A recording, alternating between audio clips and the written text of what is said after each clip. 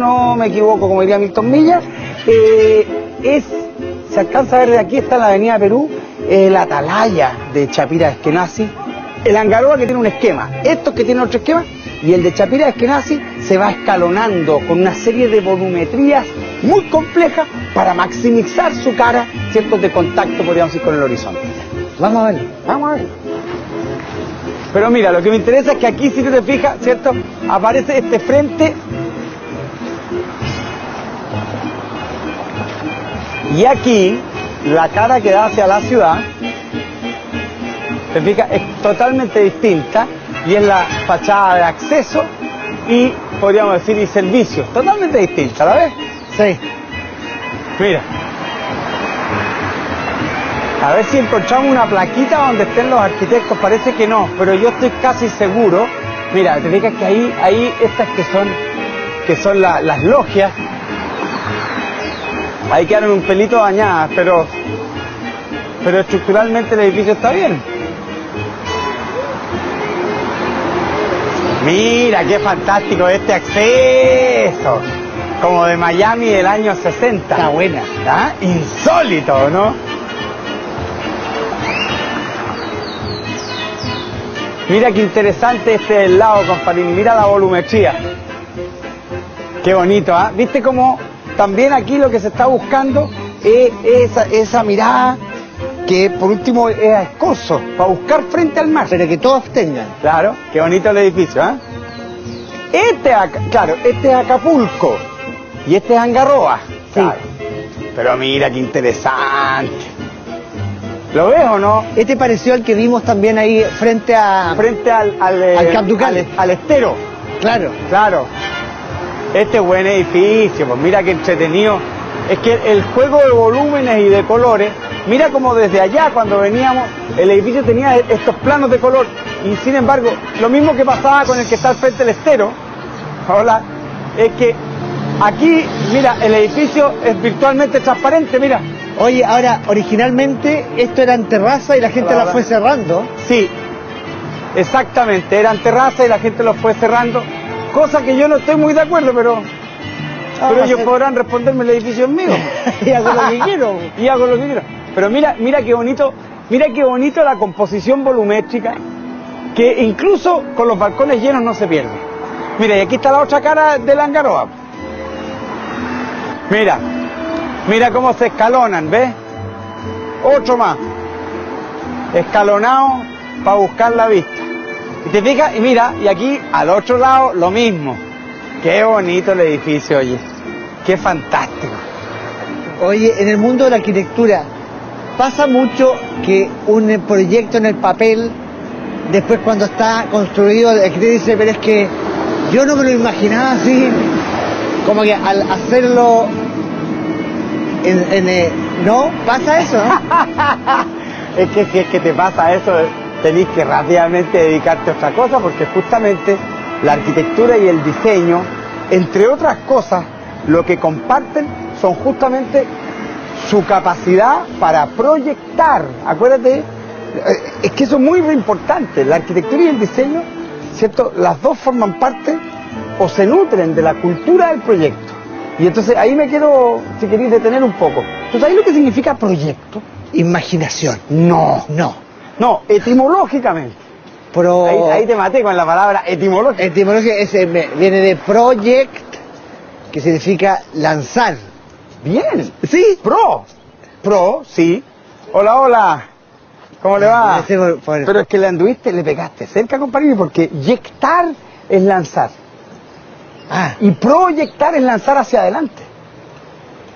Literalmente. De ahí que uno dice inyectar, eyectar, proyectar. proyectar y lo más importante para la arquitectura y para el diseño, obyectar, ¿Qué es eso? objetar, oponerse, ponerse en contra. Y la arquitectura y el diseño produce objetos, objetos que lo que hacen es fundamentalmente oponerse a esa condición que nos, en la que estamos situados originalmente, que es la vastedad absoluta. La arquitectura y el diseño lo que hacen es que construyen una medida para que nosotros podamos vivir en el mundo. Ya, pero lo que está tratando de decir es que un arquitecto que no es capaz de imaginar y proyectar en su mente cómo va a terminar el edificio, en realidad está equivocado. No puede. pues, Oye, no mira qué bonito esos balcones. Eso, no, pero espérate, si queréis ver un edificio realmente bonito, el que está allá atrás, mira, ¿lo ves ese, ese curvo? ¿Ese? ¿Lo alcanzas a ver? Atrás de este horrible... Ese, eh, claro, no, atrás de...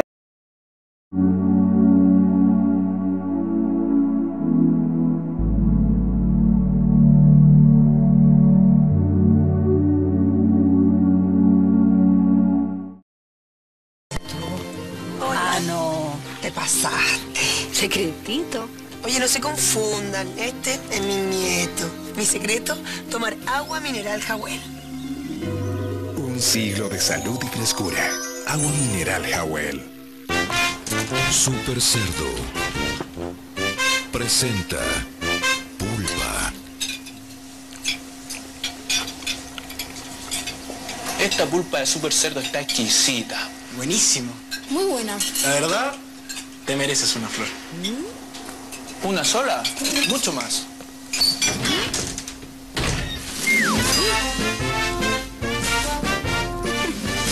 Te lo van a agradecer. Super Cerdo. Descúbrelo. Deleítalos.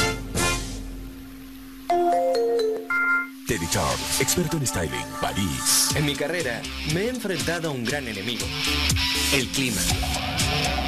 El sol y la humedad del ambiente pueden arruinar cualquier peinado en solo una hora. Por eso, Sedal y Yoko creamos un nuevo producto para terminar con este problema. Observa, es el primer producto en la historia de Sedal que protege tu pelo del clima. Todos los días, tu pelo a prueba del clima. Nuevo Sedal, Clima Resist, por Teddy Charles. Yo también estoy concentrado. Oye, que está la Trini por allá.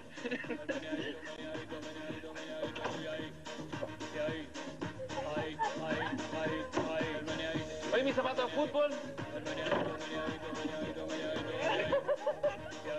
Oye, pero por favor.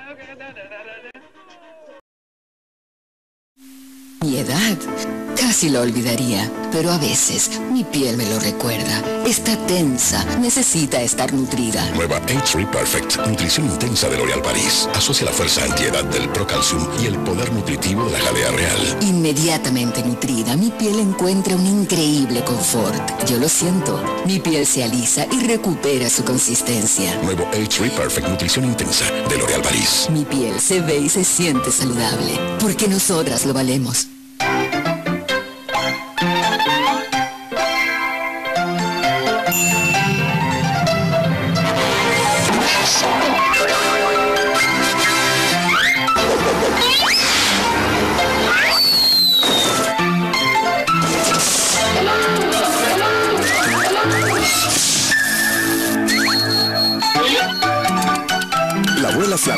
Fantástica de Soprole presenta sus dos nuevos super sabores, coco con salsa de chocolate y lúcuma manjar con salsa de caramelo. Son fantásticos. Soprole, sano y rico cada día. ¡Le va a pegar! ¡Le pegó! ¡Se acaba de salvar! ¡Sí, se acaba de salvar! ¡Enchúfese! ¡Ponga, ponga alguien que la meta adentro! ¡Ya, Guadón! ¡A la cancha! Me parece que hay movimientos, Valdemar. Así es, el gordito ya está en la cancha, Claudio.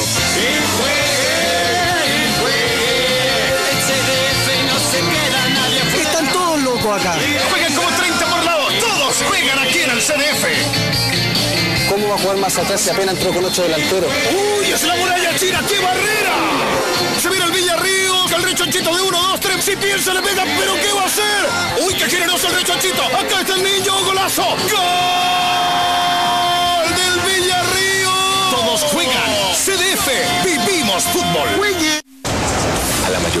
personas les gusta quedarse donde están, pero siempre alguien trata de ser mejor y arriesgarse.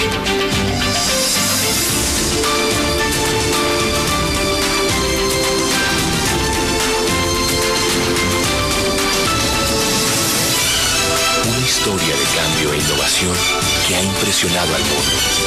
Con diseño, tecnología y desempeño. Un cambio total. Kia. Ya son tres los ganadores de Chao Jefe. ¿Y tú qué esperas para decir Chao Jefe? Después del 5 a 0 en Barcelona, se viene la revancha. Solo en DirecTV. Real Madrid, Barcelona. DirecTV, único con toda la Liga Española. Jesús, va por allá. Tú por allá. ¡Vamos! 10-4, el águila está en el lío. Cambio. ¡Cuidado! ¡Lo tengo! Ahora todo será lo que sea por encontrar los stickers de los pingüinos de Madagascar que vienen en los envases de Loncoleche, Watch, Yogu Yogu y Shake Shake. Ingresa el código promo pingüinos.cl y participa por increíbles premios. Expresa tu lado sensual con la nueva máscara Color Fix Max Time de Essica. Su fórmula Maxwear Blend cubre progresivamente tus pestañas, dándoles máxima extensión y curva por mucho más tiempo. Más seductora que nunca. Nueva máscara Color Fix Max Time de Essica. En Monticello, después de pruebas y pruebas, inventamos la rueda atómica. La increíble rueda que te da una doble oportunidad de ganar millones y hasta un Mercedes-Benz en cada sorteo. Ven cualquier día de la semana. Inscríbete en nuestro club de privilegios en. Obtén tus cupones y participa. Hay más de 550 millones de pesos en premios a repartir. La rueda atómica te está esperando. Ven, date una vuelta y gana millones en Monticello. La diversión en ¿Tú cachai que en el dispare usted, dispare yo, en la plena época de la dictadura? ¿Cachai lo, que significaba decir dispare en esa época? Dispare, dispare usted o dispare yo. O sea, como que había posibilidad que uno disparara y lo otro. Era una revolución en esa época, una revolución. O sea, la CNI en la puerta los otros días, preguntándome, ¿por qué usted le puso dispare usted, dispare yo al programa? La CNI en la puerta, ¿entendí?